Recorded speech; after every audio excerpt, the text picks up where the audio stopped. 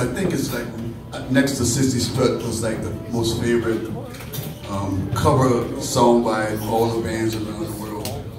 They, um, they like this song. All the really big bands, you know.